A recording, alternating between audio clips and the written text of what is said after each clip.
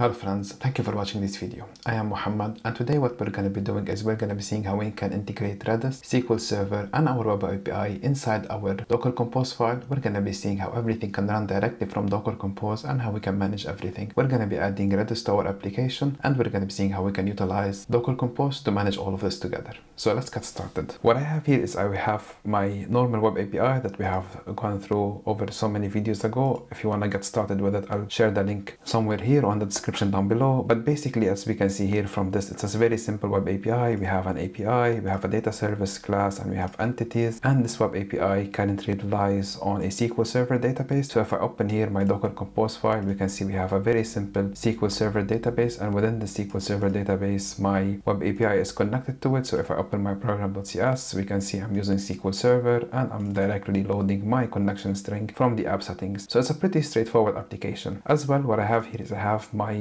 Docker file, which helps me containerize and create an image for my web API. And what I'm gonna do right now, first of all, is I'm gonna add a package to my web API in order for me to utilize caching, which is gonna be Redis cache. And once I do that, I'm gonna utilize my Docker Compose file to add Redis to it. So let's see how we can do this. So inside my terminal, if I go to my Formula 1 web API, which is gonna be .NET, add package Microsoft.ASP.NET core.output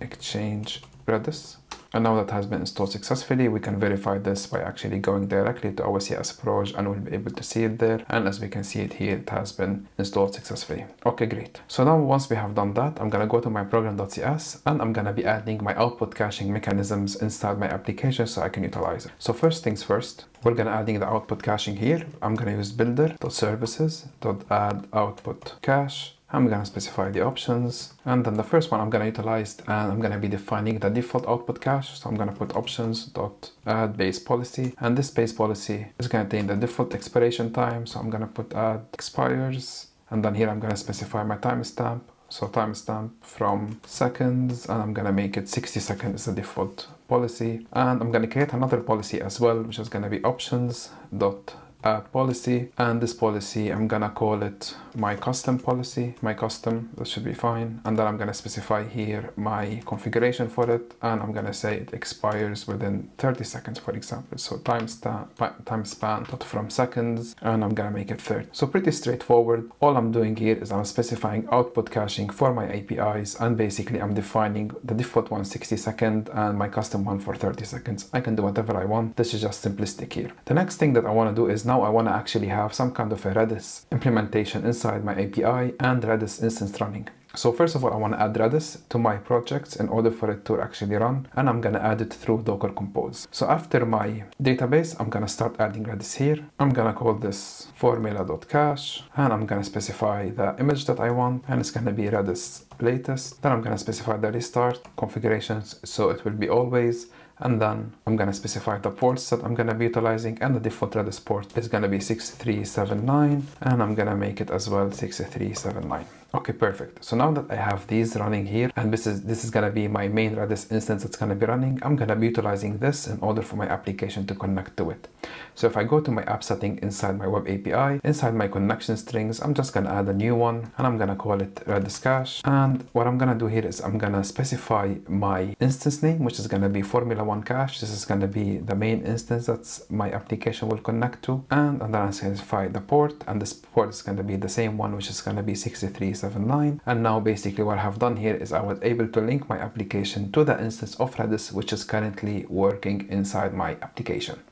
Great, so now that I have done this and now everything is running, what I want to do right now is inside my program.cs, I want to actually first of all get this Redis cache. So I'm to put var Redis connection string. And I'm gonna builder.configuration.get connection string. And I'm gonna specify the Redis connection string and if we take a look here it's called Redis cache so I'm gonna copy this put it here. And once I have done that now what I want to do is I want to actually inject the Redis service inside my application and the way to do that it's gonna be builder.services.add stack exchange redis output cache and then I'm going to specify the options and the options dot configuration. I'm going to say it's going to equal to the redis connection string that I have. Great. So with this what I was able to do is I was able to connect my application to redis utilizing the connection string and I specified here the output cache. So now that I have defined the middlewares that I want now I actually want to use them. So inside my program.cs and after the uh, builder.build what I want to do here is I want to add the following which is uh, app.use output caching. Great so now my application is going to be heavily relying on utilizing caching in order for it to work great. What I want to do right now is I want to add a functionality to my application so whenever it runs it will check if the database exists or not and if it does not exist it will actually do the migration for it. So let's see how we can do this. Inside the root directory of my application I'm going to add a directory or a folder I'm going to call it services and inside the services I'm going to create a new class and this class I'm going to call it database migration service Great. And once I have done this, I'm gonna create a static functionality here, which is gonna be public, static void. I'm gonna call it database migration initialization. And it's gonna take an I application builder. I'm gonna call it app. And then what we're gonna be doing is we're gonna be creating a context. So I'm gonna put using var service scope equal app dot application services dot create scope. And then here what I'm gonna be doing is I'm gonna using the scope in order for me to do the migration. So I'm gonna put service scope dot service provider dot get services. And here is gonna be my application db context which is gonna be app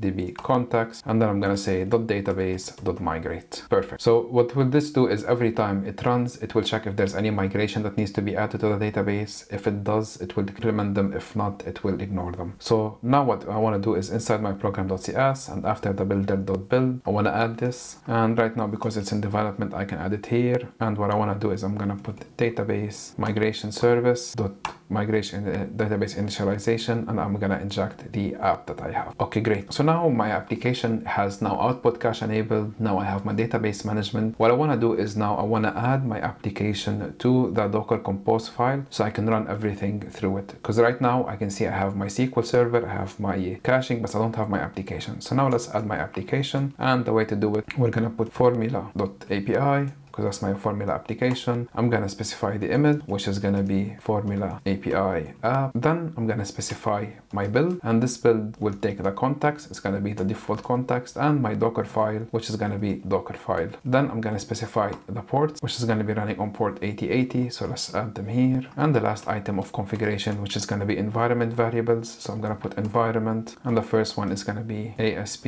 NET core underscore environment equal development and ASP NET core underscore HTTP underscore ports. I'm gonna make it equal to 88. Great. So now what I have done here is basically I have wired up my application from my SQL Server to my cache to my Formula One Web API. And within this, I was able to have everything up and running. So what I'm gonna do right now is I'm gonna open my terminal, I'm gonna clear it up, and I'm gonna run my Docker Compose file. So I'm gonna put docker dash compose up with build, and this will make sure everything is building. This will take a few minutes to build. So once this is complete, we'll be able to see it now running.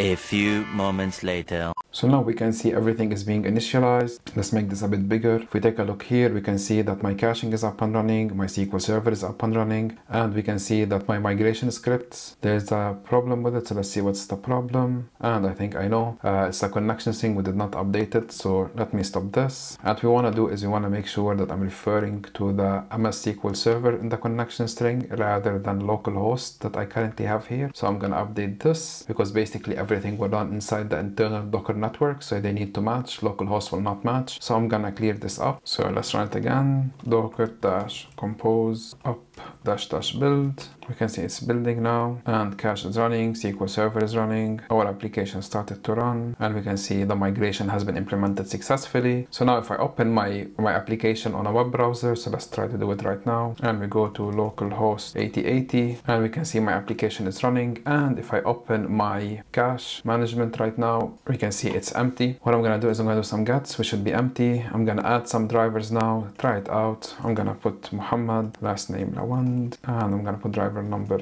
let's say 23 create create create create create. So now we can see that i have added a few drivers. If i click on execute we're still getting the the empty one because it's being cached. If i click here we can see that this information is being cached. If we wait 30 seconds uh, 60 seconds we should be able to get it. So what i'm gonna do right now is i'm gonna shorten this up to 10 seconds So I'm gonna go back to Rider and inside my program.cs, what I'm gonna do is I'm gonna add, uh, shorten my custom implementation from 30 to 10, and I'm gonna attach my custom policy to the get endpoint inside my controllers so inside my drivers controllers what I do get all drivers I'm gonna add a custom policy. So I'm gonna put output output cache and then I'm gonna specify the policy name and then the policy name is my, my custom policy. I'm gonna stop this and run this again. It will build up my application with the new custom policy in place. And now we can see everything is running again. Still have to wait for my web API to boot up and we can see it's already started to run. And now what I'm gonna do I'm gonna go back to my web browser click on execute. We can see I got the users if I created before and now if I go back to my Redis cache and if I refresh this we can see here that all of this information has been loaded in the cache. So let's see it again and click on execute. We'll be able to see it here. We can see on the left hand side all of the driver information that I have and all of this different data so now if I click on creating more drivers, within the next 10 seconds they will expire, the data in the cache, and I can get a fresh new one. So now if I click on execute, click here and then execute, execute, and we'll be able to see that after refreshing this, the data has been updated to the latest version because it only lasts 10 seconds and it gets deleted and now we can see it's all available here for me to utilize inside the cache. Okay, great. In this video, we're able to see how we can actually utilize Docker Compose to manage our database, to manage our cache and our application, how we can connect everything together and make it work. We're able to see how the different configuration are being set out and mapped out inside our web API. So we'll be able to connect to the instances of caching as well as our database inside Docker. I hope this video was helpful. If you have any questions, please make sure you put them in the comments down below. If you'd like to support me, please consider supporting me on Patreon or buying me a coffee. With that said, thank you very much for watching and have a great day.